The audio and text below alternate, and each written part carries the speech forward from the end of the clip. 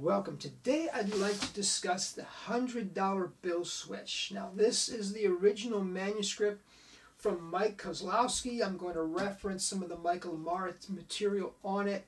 But before I do anything, I want you to take a look at my presentation. Now, it's called the $100 bill switch because uh, in, in, in many cases, a performer would borrow a dollar bill or a $10 bill or something like that and would uh, transform that smaller dollar bill into a hundred dollar bill.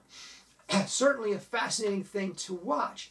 When I did it, I used a mismade bill. So I would take a regular dollar bill and I would literally turn it inside out. I just enjoyed doing it. My audience enjoyed seeing it. Before I do anything else, let me pause and let you watch that presentation.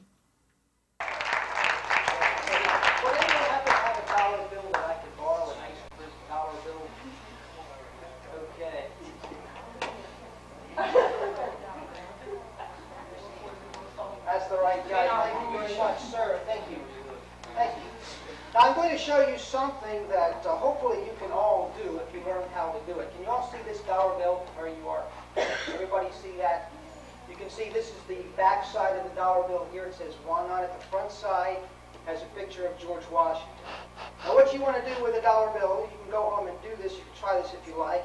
Put a nice crease down the middle of the dollar bill so that it's folded in half, once like that. Then you want to fold it up in half again, this way. And again, put a nice, good, solid crease in it. Now you've got it folded into four parts. Fold it in again so that you have a nice, tight square. And then you want to give it one last fold. Now if you folded the dollar bill correctly, you can begin to unfold it at this point. There it is. You can begin to unfold the dollar bill at this point. And if you've done this correctly, what will have happened is you've turned the dollar bill inside out, so that the outside edges of the bill are in, and the inside edges of the bill are out. Now, of course, you can't spend a dollar bill that's been turned inside out, so what you need to do is simply reverse the process. You reverse the process by doing exactly what you did before, only in reverse. This time you fold it in, so that you folded it in half. You fold it up again. You fold it in one more time, and then you give it one last fold to make it nice and tight then you can begin to unfold the bill, and if you've done this correctly, you will have turned that bill back into a whole one, and you can spend that bill in virtually any store. Thank you very much.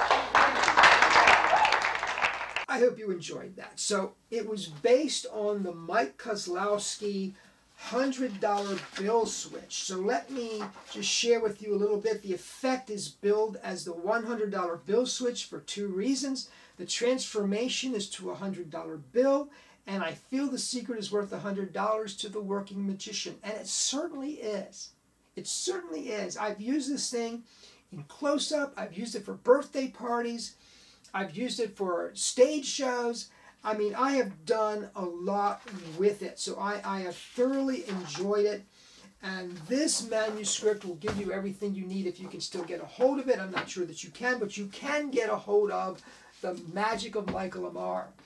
And, uh, you know, most of us, or many of us, some of us, uh, uh, we saw David Copperfield do this. And uh, he did it on stage, and he did this funny bit where he turns it into a large denomination. He's passing it back to the owner, and the denomination, he, he's saying from the stage it's getting smaller every time it goes back one person to another. It's a very, very funny bit. If you've not seen it, I'll try to find it and put the uh, put the reference below so you can see that.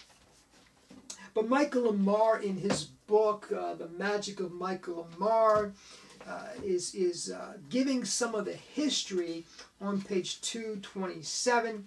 He says Mike Koslowski caused quite a stir during the late 70s, and I think this was published 1977.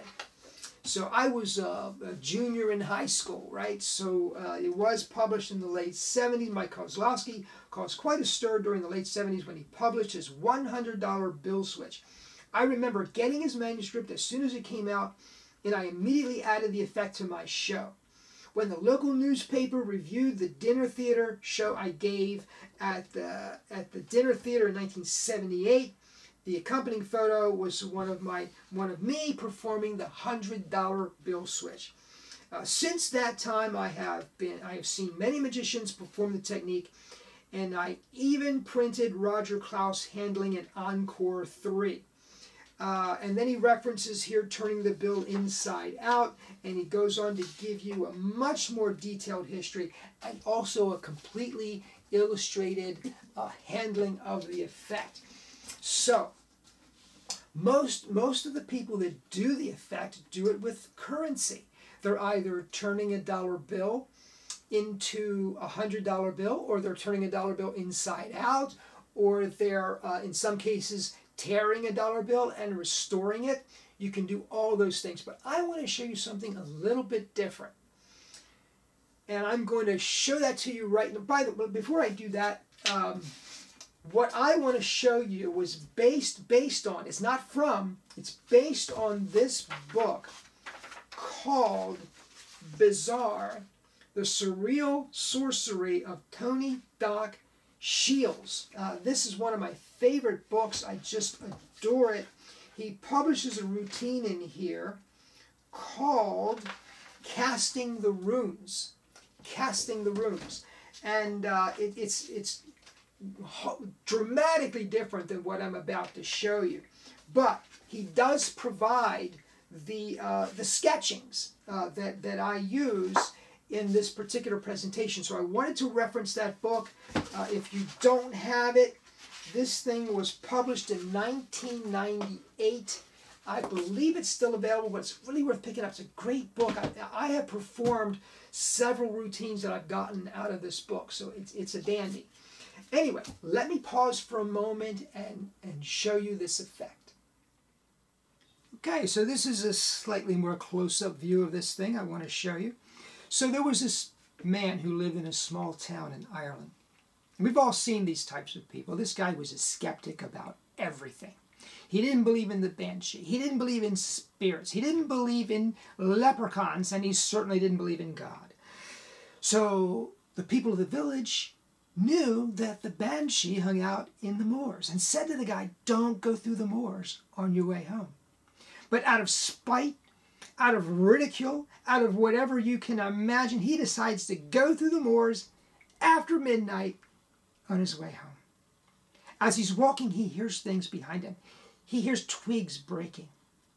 He's thinking maybe, but in his mind, he's sure that it couldn't possibly be.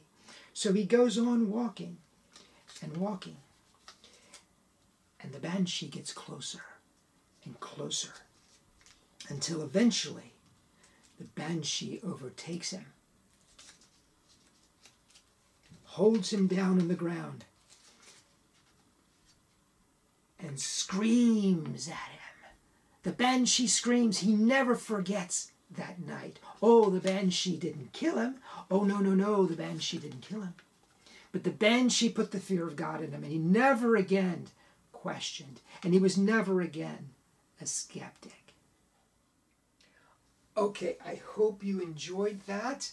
Uh, I just I did that for one purpose, and that was to illustrate that you can take a magical principle and you can apply it many, many different ways.